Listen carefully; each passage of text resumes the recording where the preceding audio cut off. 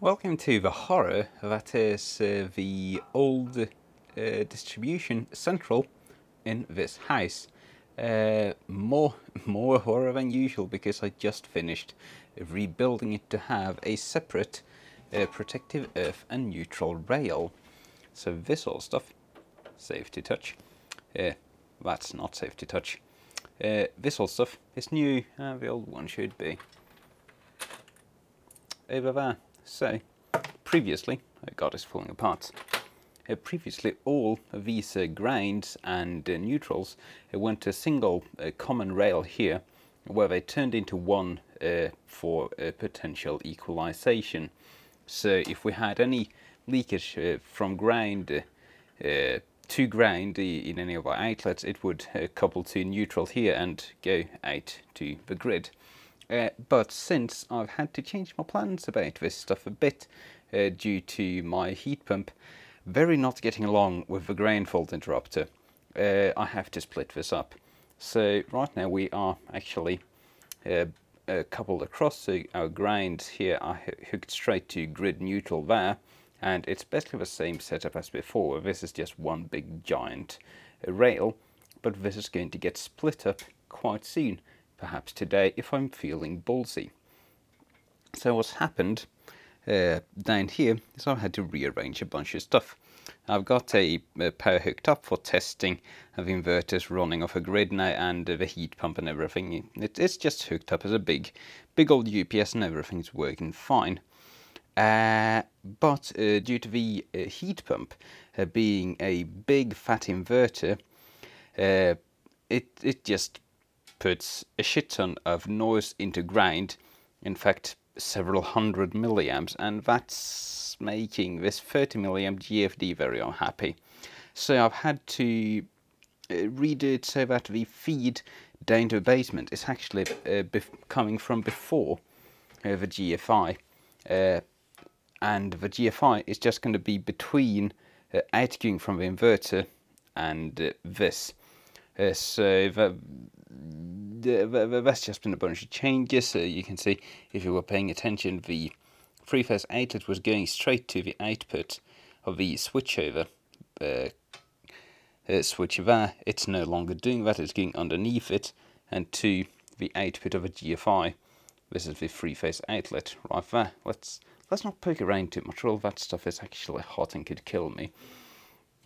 Uh, so with that in mind, uh, we, we've kind of moved a bit closer to being able to hook this up because uh, really all we need to do to have the system entirely online is to get these fat wires, you can see a fat brown one down there, a fat black one up there, and a final fat black one hiding in the shadows there. These are the incoming main supply from the meter if we hook those to where this bodge cable is uh, coming, and then the GFI to the big rails that all the fuses go to, uh, that's it. That's the entire system wired up, only thing lacking being solar panels. And I'm really tempted to do that, uh, because then I can just uh, remove this jumper and actually have GFI protection uh, on the entire house, which is nice. I uh, have uh, actually measured the current flow here. It's about 10 milliamps with all the stuff in the house leaking all at once. So it might make the GFI a bit unhappy. It should not, but these can sometimes be a bit oversensitive. And if it's oversensitive due to nuisance uh, tripping, i.e. noise, uh, that's a bit of a cheat you can do where just uh, I put a small capacitor between the neutral rail and uh, the ground. That's going to couple over high frequency noise, uh, but if you get any actual 50 hertz uh, ground fault, like if you stick your finger in there, which you really shouldn't do, uh, it'll still trip the GFI because that's so low frequency that it's uh, uh, still going to pass current that's not going to go through the capacitor there. So that's something we might do if necessary. But really, I'm, I'm, I'm, i think I want to just switch this off, take these guys out, and wire this up. All it takes is a few terminal blocks and some wiring and uh, we're going to have the entire house hooked on a big UPS and uh, we're going to see how many things can go wrong in doing that. Alright, and that's all the proper wiring done. I've been doing this for so long, all my UPS except for big ones run out of battery so I mean we don't even have internet access right now, it's crazy. Uh, but let's uh, have a look at uh, what's happened here. So in the old central, uh, these wires used to go straight to the live rails where, where the incoming uh, power coming straight from the meter.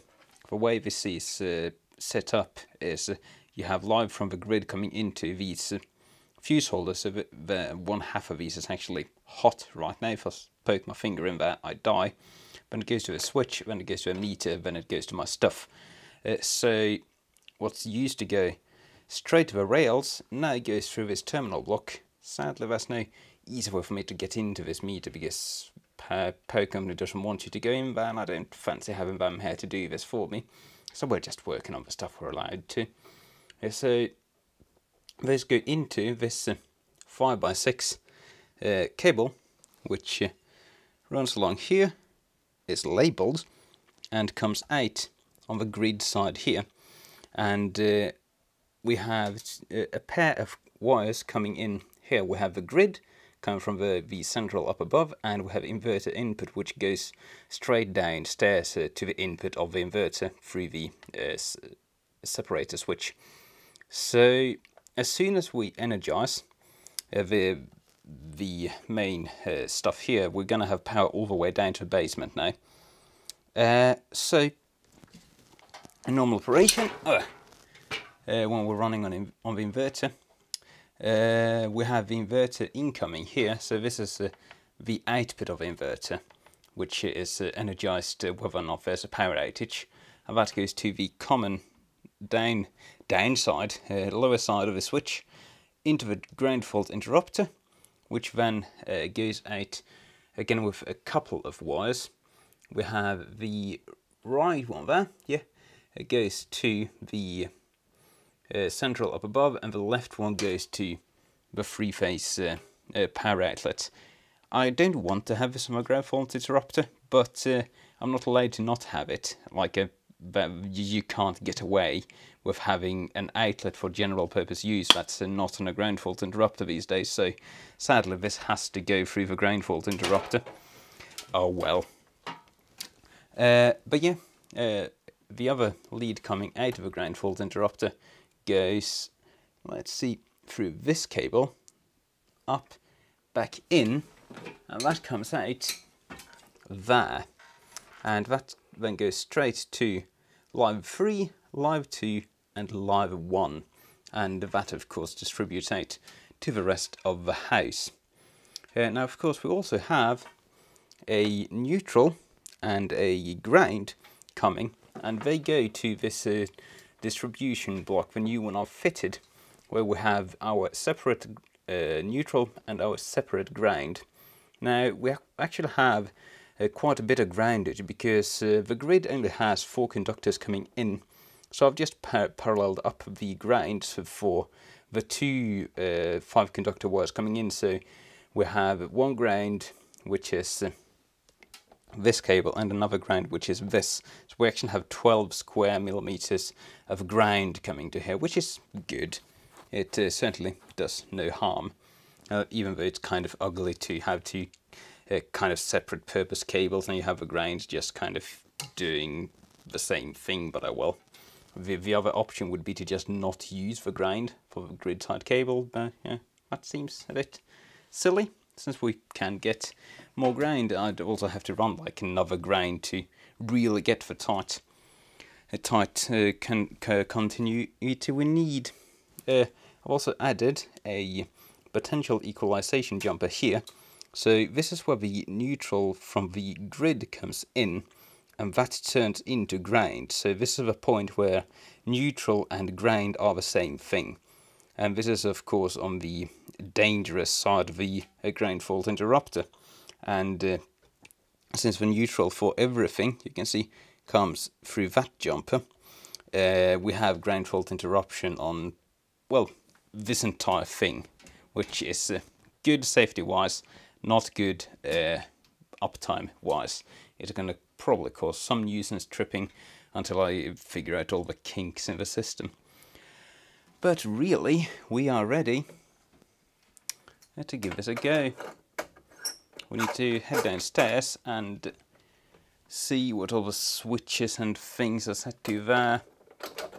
Uh, and I think we'll just uh, jump straight into a normal inverter mode. Uh, now keep in mind, uh, since I don't have any solar panels yet, uh, this is what I've done now is basically just uh, put a 10 kilowatt UPS on my entire house, if I've done everything correctly, which I'm quite certain I have. So we'll prepare here by putting this on inverter and we'll, we won't turn the GFI on yet. I don't.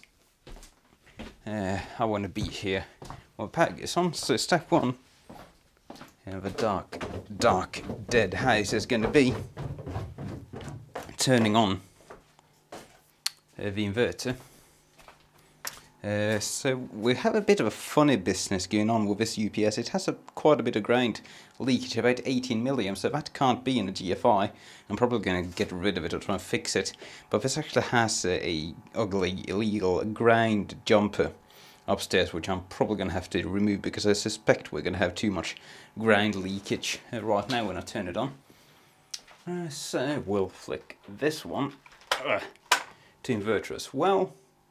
We'll turn the inverter main power on, heat pump is on, uh, barn is on, outlets on, the heat pump is enabled, that is hooked up without a ground fault interrupter, like this is the UPS's power cable. There's going to be a separate uh, ground fault interrupter down in this room, I just haven't fitted that yet. But yeah, that's... Oh yeah, we need to turn the inverter on, that's right. So this is actually going to energize everything right away since we're set to inverter mode. So in a moment we're going to be trying to power this entire house from this inverter.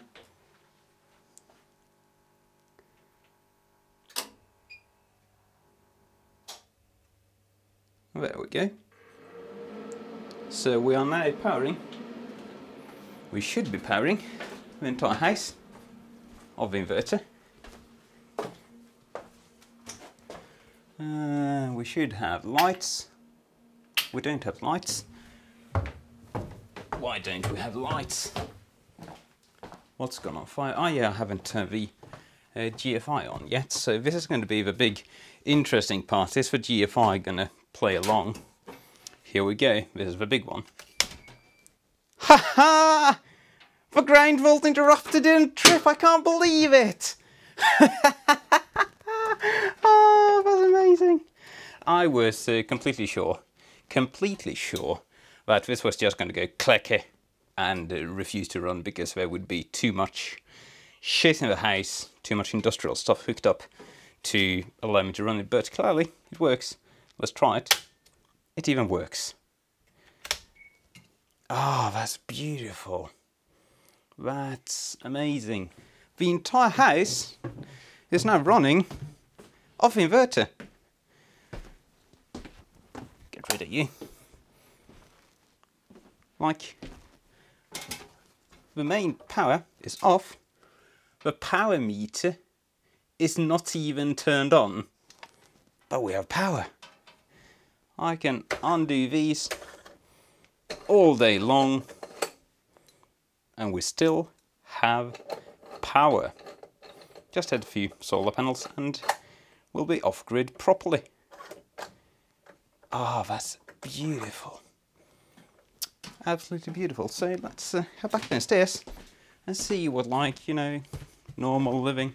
There's a bunch of batteries charging. That fridge started up just fine. This fridge actually has a PTC start. It's very hard to start. So yeah, I was kind of expecting the inverter to not be having it, but doesn't mind at all. Beautiful. My lights are working. Not that they do much. They're pretty.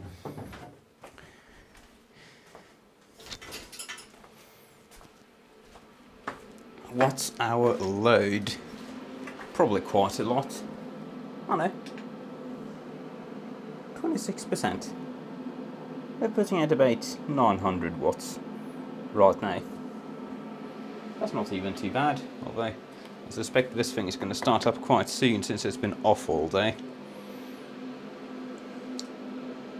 Yeah, that's not bad. Now let's, uh, there's still one thing left to do, and that's to turn the grid power on. Right. Let's just secure it in. Let's see what goes on fire. Nothing went on fire. Meter started up. If I had shorted anything out, one of these would have gone bang right in our face. And in uh, 60 seconds, uh, the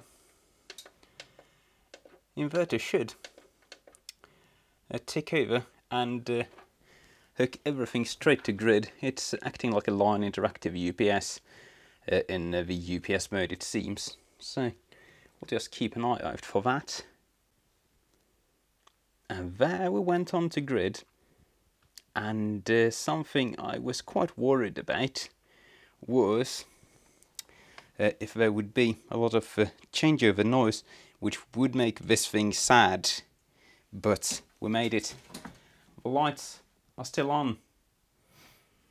Well, let's see what happens if we have a power outage. Blink. Ah. Beautiful. I am a happy nerd right now. Just some cosmetic work left. But that's not for tonight.